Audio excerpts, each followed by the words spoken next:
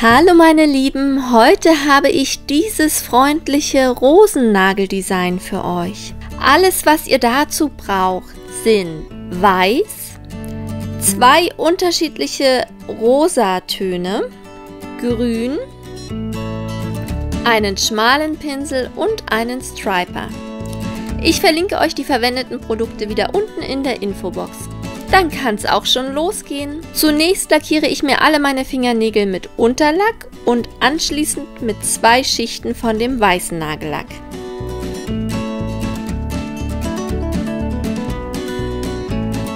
Jetzt nehme ich den schmalen Pinsel und das dunklere Pink und setze mir oben an den Nagel eine Rosenblütenform. Und gegenüber auf der anderen Seite setze ich dann zwei von den Blüten und lasse zwischen den beiden Blüten eine Lücke.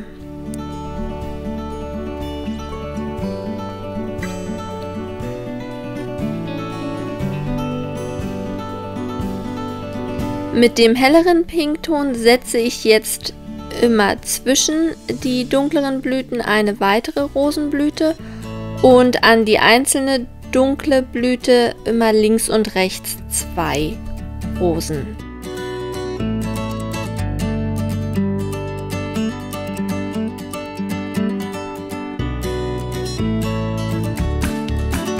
Mit dem Striper und Weiß setze ich jetzt in alle Rosenblüten das typische Rosenmuster.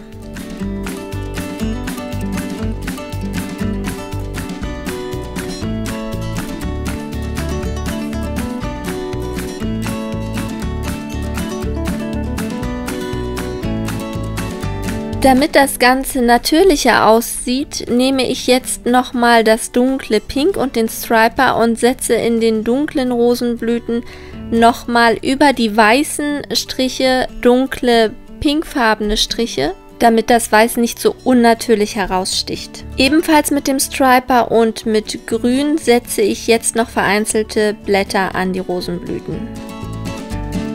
Auch hier nehme ich wieder Weiß und setze einen Strich in die Mitte von jedem Blatt und gehe anschließend auch mit Grün da nochmal wieder ein bisschen rüber, damit es natürlicher aussieht.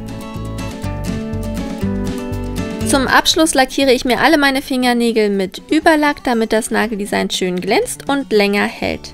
Und so sieht das fertige Nageldesign dann aus. Ich finde es richtig schön sommerlich und es macht wirklich gute Laune. Wenn euch das Video gefallen hat, dann gebt ihm gern ein Däumchen nach oben und abonniert meinen Kanal, damit ihr keins meiner weiteren Videos verpasst. Dann wünsche ich euch viel Spaß beim Nachmachen und bis zum nächsten Mal.